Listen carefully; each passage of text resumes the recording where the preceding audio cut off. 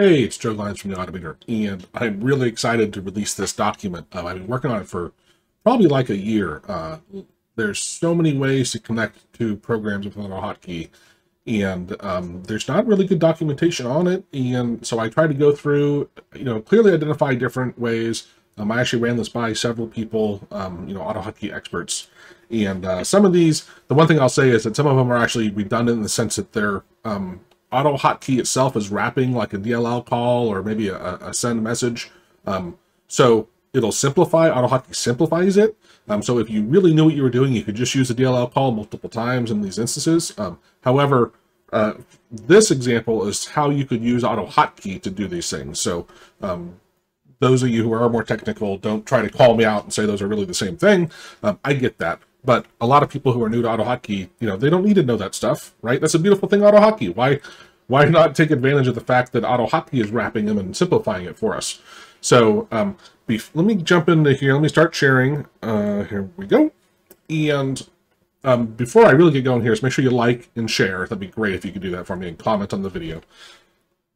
What I've done here is try to also not just give you the information um, in a sense like here's an approach right? What we're going to cover in this video is uh, here's the technology. Um, here's a code library, like, you know, whether it's maybe on the Automator or the forum or Microsoft. Um, here are videos. Most of them are videos I've covered, but I haven't covered everything. So there's some from um, like uh, Isaiah's uh, in uh, Raptor X on Udemy. Um, and then if some of the topics are covered in the Udemy course, uh, we mentioned which Udemy course they're in. These are all hyper. These are, I think, all of them are hyperlinks are close to it. Um, but then I also rated each one. I gave it an overall, and that I just added everything up, which to me isn't really the best approach, but I just wanted something simple. Um, now, for what these things are, this first one, R1, is how reliable is it on one computer, right? So is it going to work on one computer? And then the second one is very similar. Is how is gonna, how reliable is going to be on more than one computer? So maybe not just your computer, but when you're changing you know, OS systems or giving it to some a coworker or whatever, right? Those two things are very different from each other. And what I probably should have done, you can, of course, you're going to have this document if you want, um, is you could take these and multiply this times the rest or this times the rest. But adding them all together doesn't, it's not honestly the best approach. However, I wanted to keep this simple and easy for us to discuss. Um, and so this keeps it very simple, right? Um, but just to be clear, this is on one computer, this is on more than one computer. Um, the SP is for speed. Everything is a scale of 1 to 10, where 1 is poor and 10 is excellent, right? So speed, the higher the number, the faster it is, right? Um, SI is simplicity. Um, and, and bear with me here, because I was trying to keep that scale where 1 is poor and 10 is great, uh, because simplicity, the simpler it is, that means it's really easy to program in, so to speak right? So even a, a, noob can jump into this very quickly. So a 10 is a good score, right? It's not really complex. It's very easy. Um, the P is the prevalence. So it's like how often that technology is available in the tool you're trying to automate, the program you're trying to connect through. Like, so let's say COM is a great example. COM is an amazing, robust approach if it's available, right? Often it's not available, unfortunately. Otherwise, it, I would be like, just jump to COM. Uh, but COM's not always there. So it is a very, very, um, um, it's reliable, just not that present.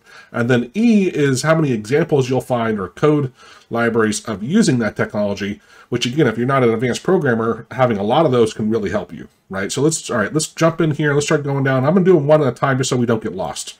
So with the highest score, I have them sorted from the highest lowest. And again, you might change these, right? Do what makes sense to you. Um, so the first one we're talking about is just reading and writing from the registry, right? This is, it's a great, easy way. If you're doing something where you're trying to connect to the program and understand what's going on, if they have set their values in the registry, like this is, it scores great across one and multiple computers. Speed is super fast. Um, it's, it's once you get the hang of it, it's actually pretty simple. It's just the first time you're reading them, it's a little confusing. But once you get the hang of it, it's really easy. Um, it's prevalent. It's, everything has the Windows registry, um, and there are a lot of examples on it. So this is why this one won, right? It scored really well on almost everything. Um, so and then so again, here's the um, here are examples. I think these go to the forum possibly, and then over here um, we have examples to the uh, no, sorry. Let's see here. Let me click now, if I click it, it's going to highlight it. So um, anyway, it doesn't really matter, right? But you'll have hyperlinks here. By the way, I tried putting all this into Excel. However, Excel in each cell, when you have multiple links, it was breaking. And so I'm like, okay, that won't work. Um, so basically, I'm going to convert it into a PDF and make that available so everyone can, can open it. I really wanted to have it in Excel because that way we could easily sort on different columns. However, it just it just was going to be a real pain, um, and I want to get this out. So, all right, what's our next one here? Uh, clipboard manipulation, right? This is another great one, right? Why it's super reliable across these two, right? Either whether it's your computer or you change it to another computer, the clipboard is a clipboard is a clipboard, right? Not going to break too much. Um, very, very fast overall. Uh, very simple. Well, some things are a little more advanced than others, right? But generally speaking, how we typically use it, very simple. Um, tons of uh, uh, I'm sorry, it's available like in all most programs you're doing. Often you can use the clipboard to interact with it, uh, and there's tons of examples, right? Um, this next one, file read and write. Now this one depends on what your task is, uh, but being able to read and write files um, and use the, either the file object or working with files and looping over things, uh, very, very helpful. Uh, scores high. You know, doesn't really matter what computer you're on, whether it's just yours or other people's. Um, speed is good, uh, or yeah, speed simplicity is good. Um, it's very prevalent, right? It's it's often a lot of programs use files, this and that, so that can really be helpful. Uh, and the and then there's a ton of examples on it. Um, program specific API. Now this is not we're not talking about a, a web service API here. This is like using Python um, connecting to the given program, or even Windows, which maybe actually Windows might be separate in here. Um, but uh, it scores really well. It doesn't matter if whether you're on a single computer or multiple computers. Super fast here it's a, it, it is a little harder to understand and how to get get used to working with it. Um, unfortunately, like I, I in the forum, which I think I linked to it here, I have examples where I used AutoHotkey to connect to Python and do stuff, and I used Python to connect um, within AutoHotkey. So um, those are links there. Um, and then there's the, oh, the, oh, here's the Windows API. So there's a lot there, which is amazing, right? If you're trying to see what's going on with your computer, AutoHotkey connects to the Windows API like nothing, right? It's just, it's amazing. Um, so that's a great one. Com objects, as I mentioned earlier, right? Look at these scores um, we gave this. So Isaiah and I went through this. He rated it also. I um, also rated it, and I kind of combined his and mine. Uh, but the uh, the scores, right? Com is amazing. It's a programmatic way. It's super fast. It is a little complex. Um, the prevalence is the biggest one that really hurts it, right? Is because if you're uh, if what you're connected to doesn't have a com object, you, you can't use it at all, and it's just it's in a lot of Microsoft programs. It's in non-Microsoft programs, right? We have, uh, here's a link to 23 different programs that it's um, connects to, right, that have COM objects that you'd be surprised it has it. Uh, and there's there's a lot of stuff on it. We've done several webinars. Um, I think these are actually, some of these are links to, to webinars. Um, and so it's it's a great, great way to, if it's available, that's my go-to for almost every time, right, if it's available. So it would score higher here if it was always available. Um, send and post messages, right? These are these are great ways. Um, very reliable, whether you're on one computer or many computers. Very fast. Uh, there, it's a little more complex, right? It takes some studying and learning how to use it, uh, but it is very prevalent, right? You can connect to a lot of programs using the send message or post message stuff. Uh, and there are a fair amount of examples. I wish there were more, but um, especially with older programs, there's a lot of examples. With newer ones, there's not so many. Uh, but it's a great way to connect to programs. Um, controls, right? Controls, I, I absolutely love them. Um, the, the Windows, older style Windows controls. So they're very accurate, you know, speed, uh, reliable with both the uh, one computer mini computers. Um, they are pretty darn fast. Uh, you know, they're also, we could have a thing in here, which I probably should have had another dimension of, does it interfere with the person using the computer? Can it run in the background, right? Because that's an important dimension that um, you might want to consider when you're doing all this stuff. And controls usually allow you to do this with even if the person's using the computer, it doesn't interfere with it, right? Which is a great thing. Uh, but they're they're they're fast, they're prevalent. Um, unfortunately, they're going away a lot because the newer like ribbon structure things um, does doesn't use those older style controls. Um, uh, but there are a ton of examples on there. Um, over here in this one, I on uh, I think I linked to both. I covered, I had like over 40 videos on the intermediate course on working with controls. But if you look, I think it's in here on the playlist on YouTube. Um, I have a lot of videos, a lot of the same content. Uh, but controls are amazing if you're using an older, connecting to an older program. Shell hooks are another really great one. very fast, very reliable. You know, doesn't matter if you're working on one or versus many computers. Um, super fast. Uh, but the uh, simplicity, like they they seem really complex when you try reading about them. However, um, I would highly encourage you to go watch this video here. Uh, Jackie walked me through an example that he um, saw on the forum where someone demonstrated how to use shell hooks, and it was so easy. I was blown away. He, he did a great job of showing just how easy it is, and, and I was I was shocked. Honestly, I was like, wow, that um, they're they're so reliable. They're super fast uh, and they're just great, and they are very prevalent, so it's a great one. Uh, the status bar, now this one, I, I've had this one save my butt. I've had programs where I couldn't check on what's going on with the program, but I could read the status bar, right? So a lot of that bottom line, a lot of older programs, you can programmatically get it. Sometimes I think you can set it, but usually you can ping it and check to see what's there, and that can help you understand what's going on with the program you're trying to connect to, right? So it's it's a good one. Um, again, it's the um, the prevalence it's not as common as it used to be right that that's where that one gets hurt somewhat on on scoring but it's a, it is a good one to know um, now the web api calls uh, this is like a, a, web service right? This is where you're connecting to apis from um, you know usually a database that you're querying online. These a lot of vendors will have tools that you can connect to programmatically. This is phenomenal that you can do this AutoHotkey it doesn't matter whether it's one computer or many computers. Very fast. Um, now, the simplicity, let me come back to that one here in a second. Uh, but the prevalence, this one probably, actually, I, would say I could bu bump it a little bit on the scoring and the prevalence because it just depends on what you're doing. But there are so many, like with the webinar we did on this, I think there was over 17,000 public APIs out there. And of course, every browser connection, when you do a browser call to a web page, even when you're querying it, that's an API call technically. And often you can um, you know, monitor the traffic and just reverse engineer it. You don't even have to use the browser, and you can do a lot of stuff with it. Um, it is a little advanced, right? Uh, but but back to the the um, the simplicity and the prevalence. Well, the simplicity is the one I was really concerned about. It's kind of funny because they have public APIs that, that again you can have access to. For me, I can dive into the public API and honestly, doing the uh, learning how to use their API is usually really straightforward and easy. It's the stupid OAuth 2 if the only approach you have is using their OAuth 2 and you have to work on this handshake and often they're very complex. Um, it takes me far, far longer than the actual working with the API does to, to get the handshake down.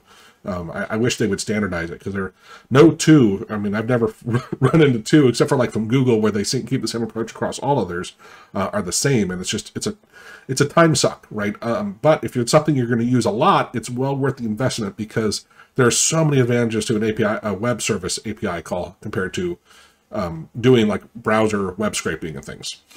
Uh, all right, let's keep going. Um, sending mouse and key, clicks and keystrokes. Um, so it, it does much better on one computer, on your computer, right? Than on, and this is this, this this will break down when you're doing it on different people's computers. Just things you would think they'd be the same, but often they just don't work quite the same. Um, the speed also, this is a it takes a hit on the speed because you have to wait. This is really, if you saw the video on it where uh, Isaiah and I we were talking about it, the the difference between like an API approach versus the human interface approach. Um, when you're sending keystrokes, right, you're basically replicating what a human would do with the keyboard, and you have to add some padding and timing and then some other checks.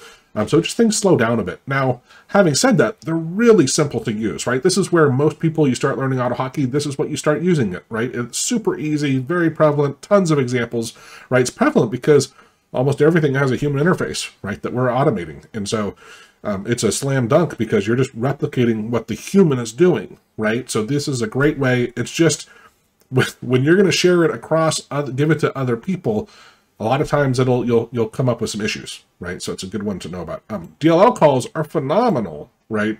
Um, they're they're very very reliable both on one or many computers, um, super fast. Unfortunately, they're they're more complex, right? And when you break it down, they're not too complex because all you have to think about is they're a function. The difficulty is you have to understand what language that function is in and be able to program in that language. So it might be C, it might be C sharp or C++, and you have to program in that language. Those, those what you put in the parameters.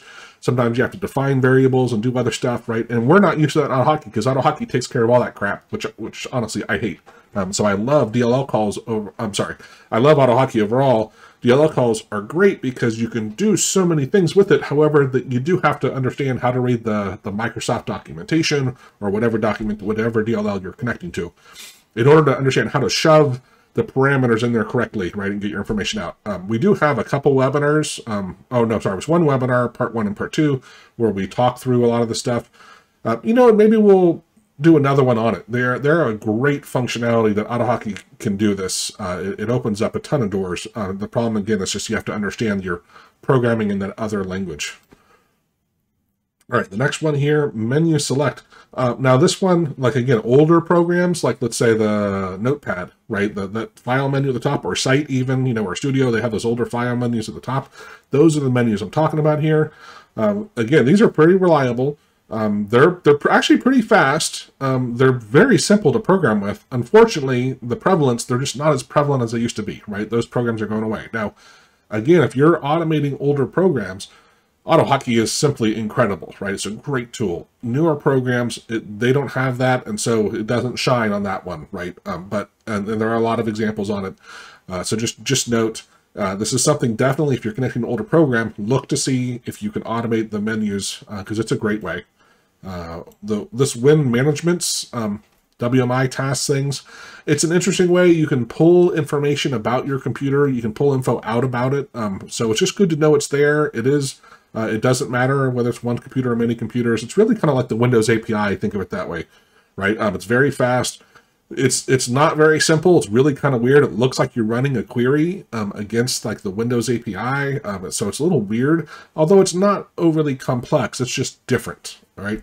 Um, there's it it it's kind of like COM in the sense of if the data you want happens to be there, it's great. However, often you, you know you don't need it for it, but it's just I wanted it in this list because it's a good thing to know it's a, it's available.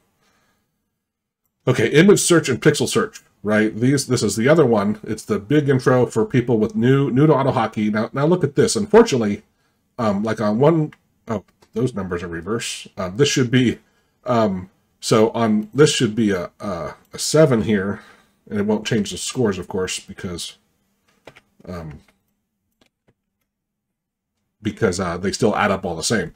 But image search stuff often will work okay on one computer, but the second you try using it on even on your own other computer, even with the same OS and everything, it's just things go crazy, right? The resolution is slightly different, the image, the colors are slightly different. There's so many things that when you're looking for an image that can break. And so um, I don't overall, I almost never use these. However, when I do, um, you know, it's for something that doesn't matter if it fails and something quick and easy. Uh, but it, you know, they are uh, prevalent. You can find a lot of examples of them. Um, they're relatively fast, depending on what you're doing.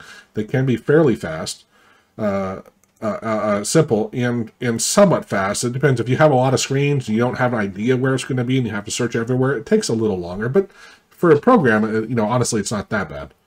Um, but just that they break a lot, so that's why this is down here. Now, this next one, actually, it's the next two. Um, you know what? Let me talk to them. Yeah, these are the bottom, the bottom two, and then we're done. I want to talk about them together because they're overall very similar. Now, it's it's a shame because these guys, in my opinion, should be at the top of the list, right? They they have the most potential. This Microsoft Active Accessibility Object. Um, here's some great examples here of uh, on the, the forum, this um, jeeswg's tutorial and ACC library from jethrow. Um, they're, they're great ways, and we actually, and that's why I merged these here together, is there's actually, they're all kind of related here. We did a couple webinars on them. Both, uh, we covered them first in the various ways to automate in parts one and two, and then the next month, we actually had a working session of using them.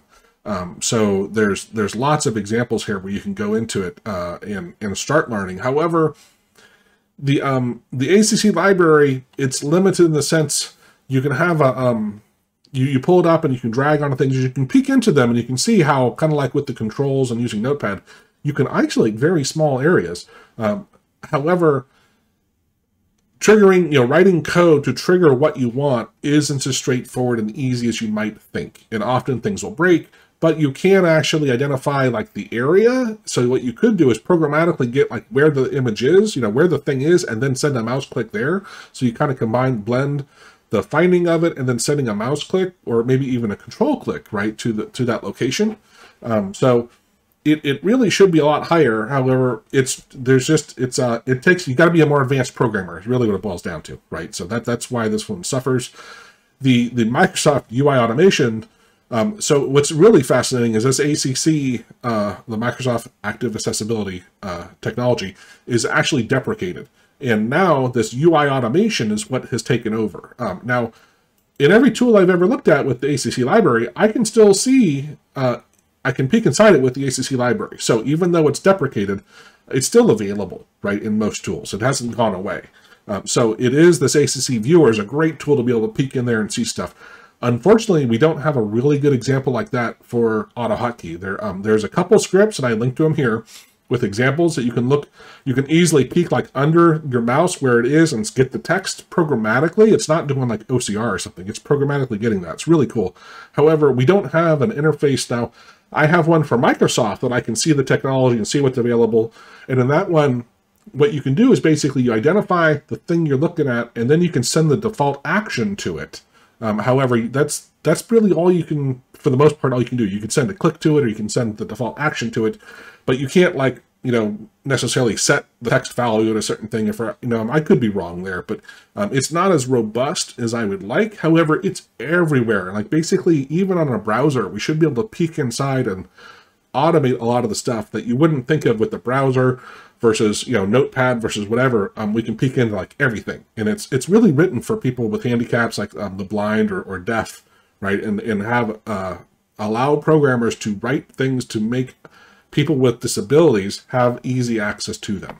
So um, here are the 17 ways. Now, again, you know, we have scored these, but feel free to, to change them, right? You'll, when you get this document, you update it. But what you should do is one, know that each of these are available, right? That's the really most important part. Know that they're available. And when you get stuck, you know, you, you have a way to start working through these things. And more importantly, you have links to the stuff, which that's what doesn't really exist anywhere at some point I would love, I'll tell you two things we're working on. Um, one is I would love, and I say we're working on it. Um, some of them we are, and some of them we plan to, right?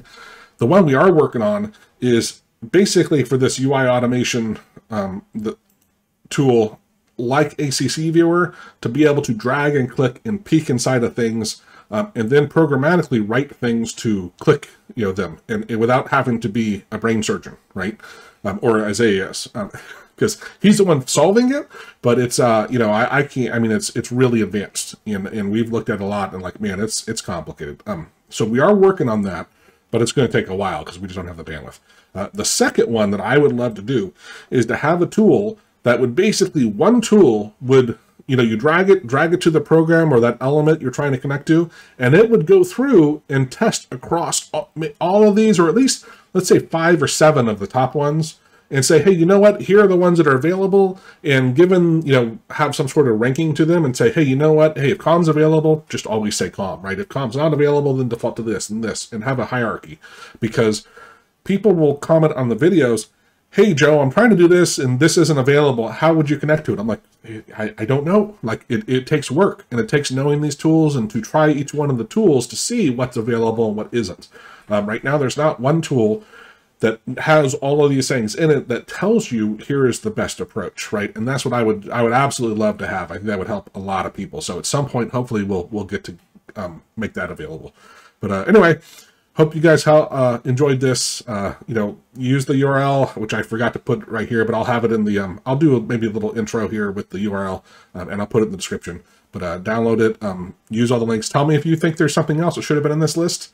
Um, I actually had one other one, the standard in and out, and Isaiah and I, we were working on it working on it. We just couldn't come up with the a real way that like it's helpful. It, it does work. It does allow you to programmatically get input from like command line stuff, but it's just so rare that it, we just thought it was just, and, and there's not good documentation on it. So we just, we left that one out. Um, but anyway, I hope this helps and cheers.